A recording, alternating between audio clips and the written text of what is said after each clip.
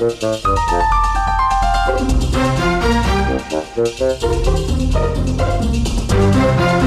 A media sesión las bolsas europeas cotizan prácticamente en mínimos de la jornada y es que al final ayer la Fed sí que actuó como catalizador para los mercados, aunque estas caídas no cambian el aspecto técnico de los índices. En el caso de nuestro IBEX 35 sigue lateral bajista a corto plazo y continúan los niveles técnicos. En soportes los 9.650, 9.700 y en resistencia los 10.300, 10.400. Seguimos mirando a BVA que cotiza en niveles de 8,6 euros y sigue muy lejos de cerrar ese hueco que tiene en los 9,33. De superar este nivel mejoraría el aspecto técnico de nuestro IBEX 35. Y como les decimos, las palabras de la Reserva Federal y concretamente de su presidente, Janet Yellen, sí que han actuado como catalizador. Lo más destacado, pues que Yellen ha dicho que una vez que se acabe con el programa de compra de activos, pasarán unos seis meses hasta que se suban los tipos de interés. Esto no ha sentado bien al mercado, pero los analistas de Link Securities dicen que hay que ir más allá en la lectura, porque si la Fed continúa retirando estímulos y comienza a subir sus tipos de interés de referencia